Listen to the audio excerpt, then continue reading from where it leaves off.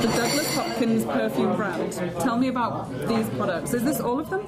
Yes, we have four. Okay. And I started the company uh, by accident, uh, I guess you'd say, with this um, Louis XIV fragrance that How I. can you start a company by accident? Well, um, when the wall went down, um, The Berlin Wall? the Berlin Wall, when communism started ending, I was very curious about was, what was going on on the other side.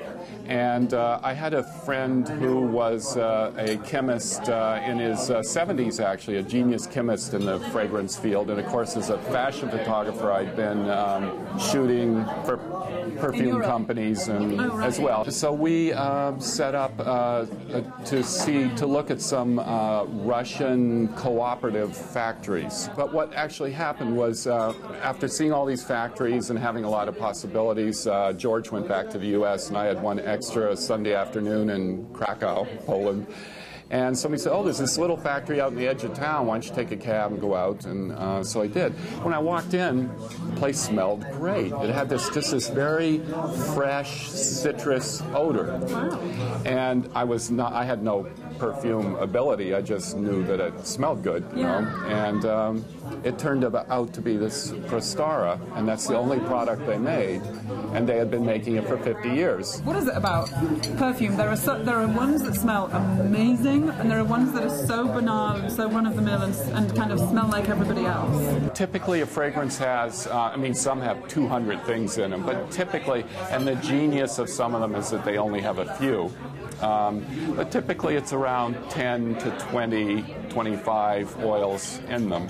And several are not for smelling, they're in there for uh, sort of balancing things out and stuff. And, you know, we're just drinking bergamot tea. I was amazed to learn that I'm drinking bergamot oil, which is a major perfuming ingredient. It was just sort of funny that uh, that, that it's also edible. You know, you know. there are about 4,000 oils in, in the repertoire, and it's so interesting because when you think of the uh, mathematical combinations, uh, of course they all don't combine with each other.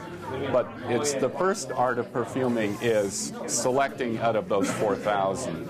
But the second art of it is the layering, the oxidation rate, how quickly it burns off. And that's how in sophisticated, what are called European fragrances or fine fragrances, you're very layered. So what do you have for me to smell? This is actually what glass stoppers are great for. I just put a bit on. If I got enough there, yeah. Now, wave your hand a little bit, and that uh, evaporates the uh, alcohol. Okay.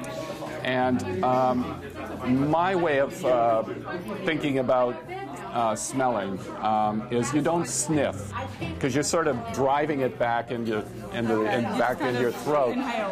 You do a long, slow inhale, but while you're doing that, you you just really go into the scent, Okay. knowing that there's 15 or 20 different things in there.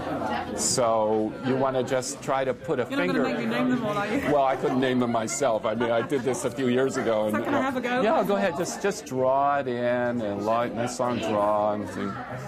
Or you might not have a scent impression. You might have a memory.